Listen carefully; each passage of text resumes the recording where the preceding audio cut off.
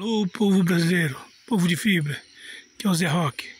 Estou passando aqui nesse momento para desejar para vocês este ano repleto de bênção, de paz, de alegria, de realizações daquilo que você tem necessidade, de presença de Deus na sua vida, de toque dele no seu coração, para que você compreenda a santa e bendita palavra do Senhor. Eu quero deixar aqui uma mensagem para vocês. Preste bem atenção. Glória a Deus. Preste atenção. Ouça com atenção o que o Zé Roque vai falar aqui. Porque o Zé Roque vai falar da palavra de Deus. Glória a Deus. O salmista disse, no Salmo 121, ele disse: Elevo meus olhos para os montes de onde me virá o socorro? E depois ele diz: O meu socorro vem do Senhor que fez os céus e a terra. Glória a Deus. Então ele olhava, olhava para os montes ao redor de Jerusalém.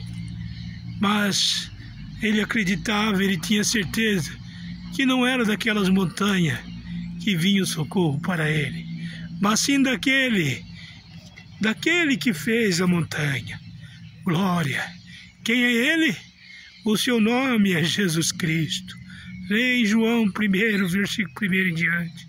Você vai ver que o seu nome é Jesus Cristo.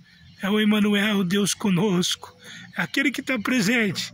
É aquele que não nos deixa. Aquele que cuida. A palavra dele se cumpre, mas ele cuida de nós. De todos nós que recebemos ele como o único e suficiente Salvador da nossa alma. Então a mensagem é para você nesse início de ano. Entrega o teu caminho ao Senhor, confia nele e ele tudo fará. Tudo. Quando a palavra diz tudo é tudo, ele vai fazer por você. Se você entregar o caminho a ele e não preocupar, ele cuidará de ti. Em nome dele, eu entrego esta mensagem. Guarda no teu coração. Guarda dentro do teu coração.